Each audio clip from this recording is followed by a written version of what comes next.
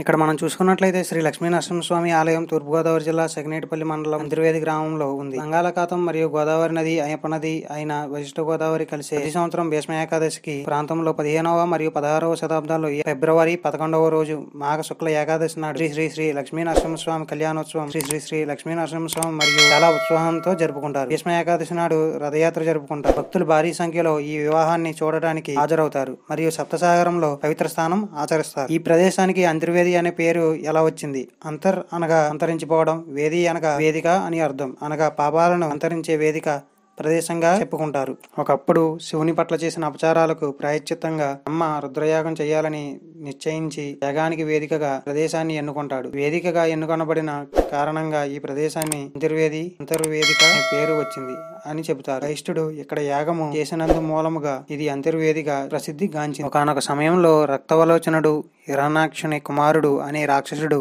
వైష్ణ గోదావరి నది ఒడ్డున వేలాది సంవత్సరాలు తపస్సు చేసి శివుని నుంచి ఒక వరాన్ని పొందుతాడు.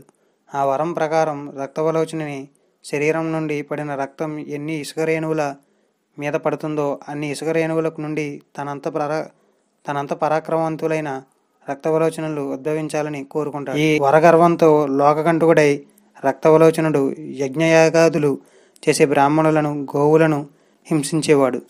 ఇది ఇలా ఉండగా ఒకసారి విశ్వామిత్రుడు వైష్ణుడికి ఆ సమయంలో జరిగిన సమరంలో విశ్వామిత్రుని ఆజ్ఞపై ఈ రక్తవలోచనుడు వచ్చి బీభత్సం సృష్టించి వైష్ణుడు నూరుగురు కుమారులను సంహరిస్తారు. వైష్ణ మహర్షి శ్రీ మహావిష్ణువును ప్రార్థించ మహావిష్ణువు లక్ష్మీ సమేతుడై గరుడ వాహనంపై నరహ రూపుడై రక్తవలోచనుని సంహరించడానికి వస్తుంది నరహరి సుదర్శనంను ప్రయోగించిన శివుడు ఇచ్చిన వరం ప్రకారం రక్తవలోచనుడి రక్తం పడిన ఇసుకరేణువుల నుంచి వేలాది రాక్షసులు జన్మించి ఇంకా బీభత్సం సృష్టిస్తారు. నరహరి ఈ విషయం గ్రహించి తన మాయాశక్తిని ఉపయోగించి రక్తవలోచనుని శరీరం నుండి పారిన రక్తం అంతా నేలపై పడకుండా రక్త కుల్య అనే నదిలోకి ప్రవహించేటట్లు చేసి రక్తవలోచనుడిపై సుదర్శన చక్రాన్ని ప్రయోగించి సంహరిస్తాడు. ఈ రక్తవలోచనుని సంహరించడం చేసిన తర్వాత వైష్ణుని కోరికపై నరహరి ఇక్కడ లక్ష్మీ నరసింహస్వామిగా వెలిశాడు. ఈ రక్తకుల్యలోనే శ్రీ మహావిష్ణువు అసురులను సంహరించిన తన చక్రాయుధంను శుభ్రపరుచుకున్నాడని పురాణాలు చెబుతున్నాయి. ఈ రక్తకుల్యలో పవిత్ర స్నానం చేస్తే సర్వ పాపాలు పోతాయి అని చెబుతారు. చూడండి ప్లీజ్ సబ్స్క్రైబ్